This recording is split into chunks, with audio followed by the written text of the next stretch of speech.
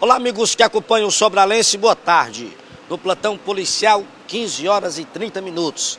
Estamos na cidade do Arroz Doce, cidade Cariré, região noroeste do estado do Ceará. Estou aqui com a dona Luzia Irene Oliveira Cabral. Aproximadamente uns 15 dias atrás, a equipe do Sobralense trouxe aqui uma denúncia de um cidadão que foi até o Detran, chegando lá, foi o procedimento para renovar sua habilitação. Sendo que, ao chegar no Detran, ele descobriu que tinha outra carteira lá em Brasília, sem nem estar, nunca ter ido em Brasília. Como é que tá meu áudio aí? Veja aí como é que tá a minha internet. Você tá com a internet aí? Veja aí como é que tá a minha internet, irmão. Por favor. Você que está com o Sobralense, informe, por favor, como é que está chegando nosso áudio. Dizer, a informação precisa. Tá bem, né? Continua assistindo, continue só para a gente ver como é que está nosso áudio. Muito bem. E com este caso aqui, olha só este caso que você vai ouvir agora. Ente tentar entender. A senhora tem quantos anos? 54. Você trabalha de quê? Eu? Pode falar? Pode. Fazendo chapéu.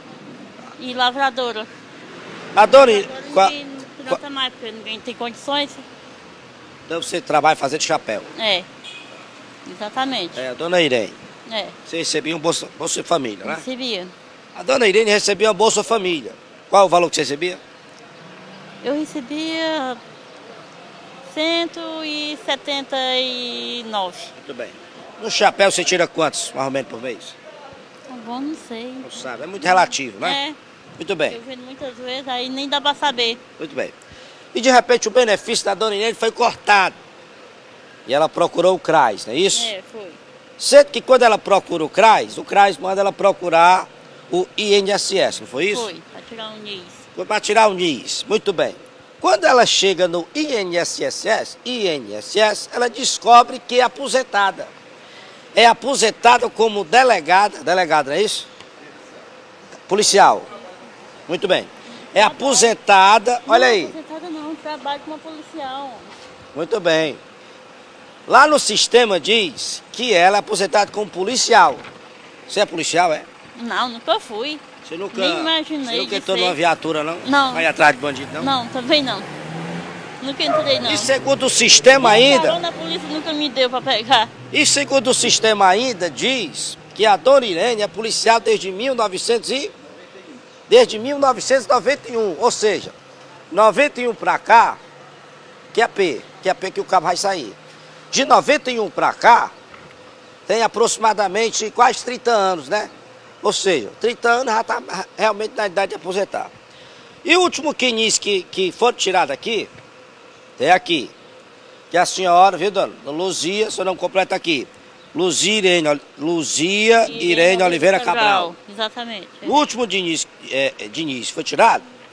Aqui diz que a senhora recebe um salário de 4.775 reais. Pois é, não recebo nem 4 centavos, quanto mais 4.750. Se eu tivesse dinheiro, eu não dava assim, né? Não, Meu Deus. não recebo nada, não. Fizeram maldade com a senhora. Fizeram, com certeza. E uma maldade grande. Porque ninguém recebe isso, né? Não? A senhora já teve em São Paulo? Não. Hum. Se- Segundo que passaram aqui, que a senhora é policial lá em São Paulo. Pois é, mas eu nunca fui. Não sei nem que jeito é de São Paulo. Eu vejo passar às vezes no jornal. Seu benefício agora foi cortado, você está sem receber o benefício, como é que você está fazendo não, não agora? posso mentir. Pode, pode, pode falar a verdade. Pode falar a verdade, né? Não, aí eles foram ajeitados para mim receber o benefício para pagar a luz. Porque nós estávamos sem receber nada. Meu Deus. Estamos aqui com, com, com o irmão. Aparece aqui, por favor. É, você trabalha na Secretaria de Ah, eu Assistência sou Social, auxiliar né? de serviço na Secretaria de Assistência Ah. Social. Quando você tomou ciência do fato, meu irmão, você viu um Na verdade, ela chegou chorando lá, é, falando que.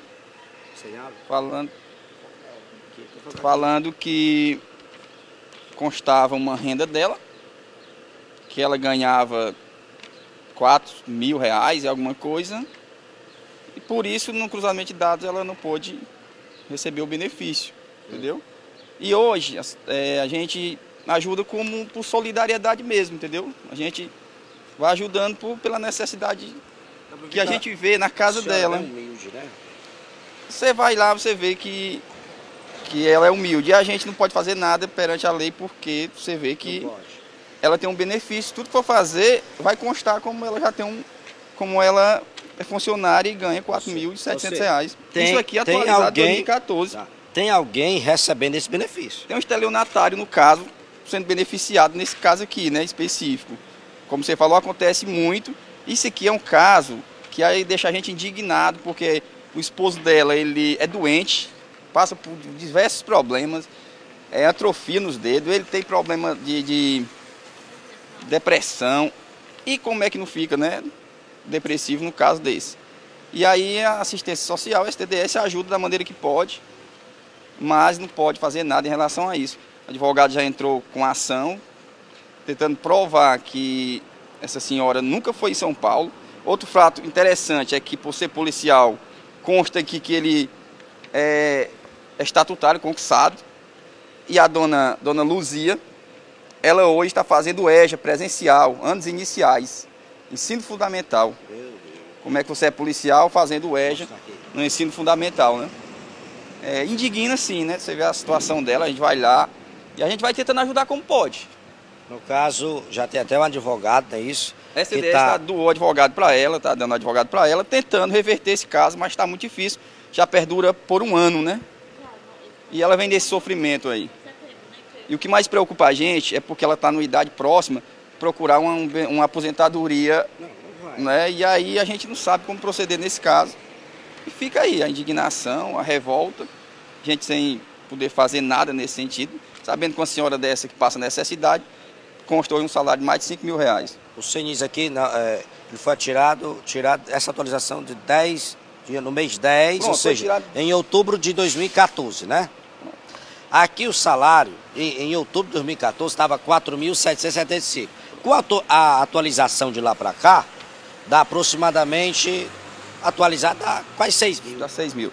Dá porque é, foi tirado só até 2014, porque chegou lá, não tinha mais necessidade de ficar tirando todos os anos para quanto mais tira, mais indigna. E aí ficou nesse salário aí de 4.700, se for atualizar hoje deve dar em torno de 6 mil reais. Uma senhora que não ganha 60 reais. Isso é Brasil. Enquanto isso, um cidadão comum, para se aposentar, meu irmão, a burocracia é grande. Com certeza. Aí você vê aí um monte. Você vai se é aposentar. documento, pergunta onde é que você mora, quem mora com você, o que é que você faz da vida, puxa a ficha criminal, você já matou, você já roubou. É uma dificuldade grande para se aposentar. E a senhora aqui, a dona Irene, tô eu, eu tô com, com pena da senhora. Mas nós vamos resolver o problema dela, viu, irmão? Vamos resolver. Esse caso aqui tá rolando desde quando? Esse caso foi descoberto ano passado. Ano passado, Qual foi o mês? é, eu acho que foi no começo do ano, né? Foi no setembro. começo do ano? Em setembro. É, setembro de 2018 foi. Tá. Esse cidadão aqui tá recebendo benefício desde quando? É, esse cidadão é policial na. É policial desde 91. Ou seja, a dona Irene, no caso, né? Dona Irene é A policial dona desde Irene é 91. policial desde 91 lá em São Paulo. Lá em São Paulo. A mulher mora, nunca saiu do, do- do interior de Cariré, já pensou? Nunca saiu de Cariré, já foi pra Sobral já, né? Óbvio. Já, no Sobral, quase todo dia eu tô no Sobral. Já né, foi em filho? Fortaleza? Já, levar o meu marido doente, né? Já foi uma operação da polícia lá no São Paulo? Não.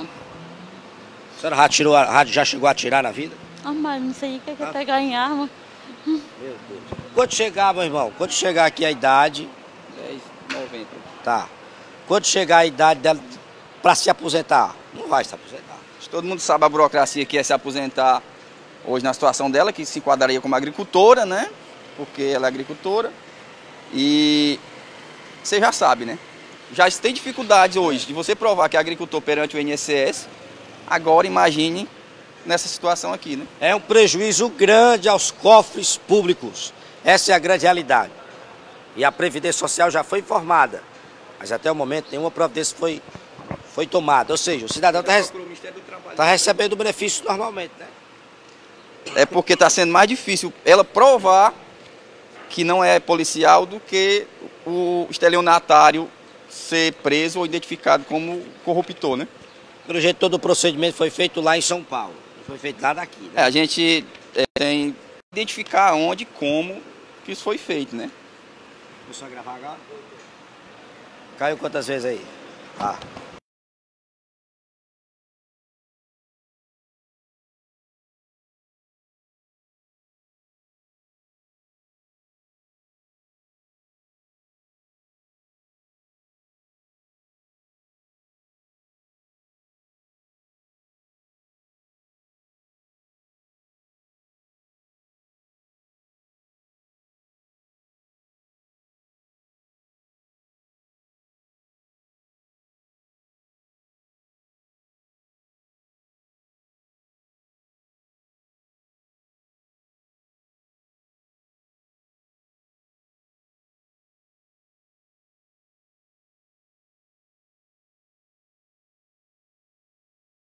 Princesa.